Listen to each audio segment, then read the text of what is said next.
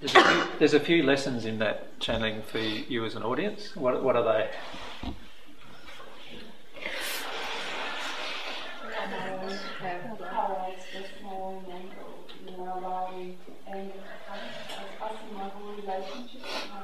Yes.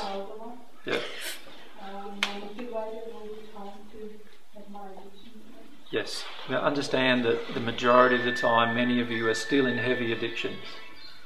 Do you understand? Mm. When it comes to processing, in particular, any anger, mm.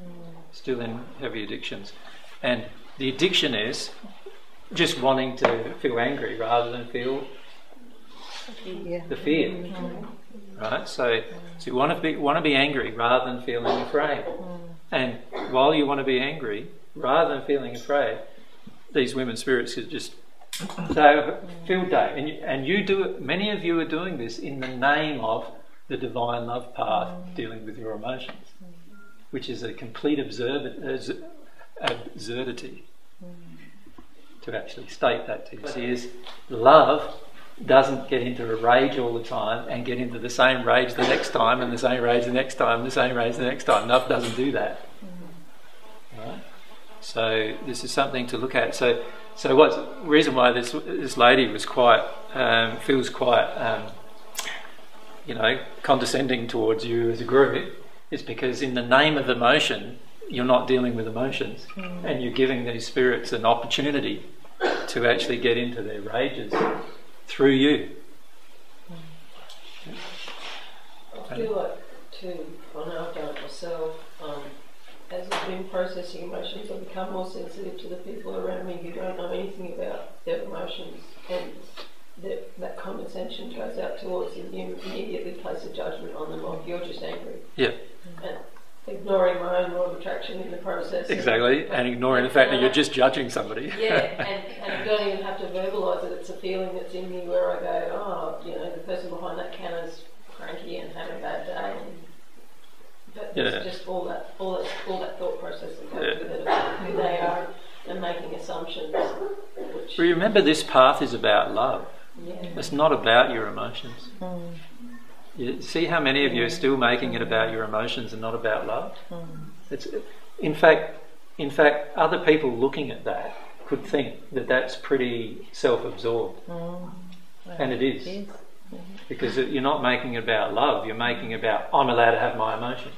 Mm-hmm. The reality is that the emotions of rage, while they may be within you, and some of you do have some childhood rage to experience, unfortunately, the majority of times you're feeling rage, you're not feeling childhood rage. Mm. You're feeling adult rage. Mm. And a lot of times you're not even feeling your own rage. Mm. That's the irony. You're feeling the rage of spirits with you, projecting their rage through you because they can. Because you give them an open slather. You just darken the condition. You're just darkening your own condition because you're now damaging somebody else through your rage. But on top of that, they're darkening, the spirit's darkening their condition, so you're actually helping a spirit darken its own condition as well.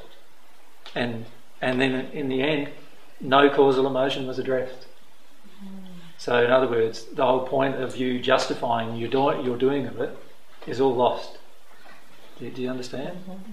See, this, is this is where we've got to be very careful, right? We're, we're not doing this for any other reason than to become more loving. If we're not becoming more loving and we're becoming more obnoxious, then we've got a problem, right? Like you're better off you're better off not expressing all of that rage and sitting on it all. That'd be more loving than actually doing what many are doing. Right? Of course, the best choice of it is to feel what's going on inside of you, not project it at other people and get into the deeper, the deeper terror. In fact, did, did you see how numb that lady was to her own terror? Mm. Just totally numb. She was there laughing at you, mm. numb to her own terror. Yeah? And that's that's a fairly common thing to do.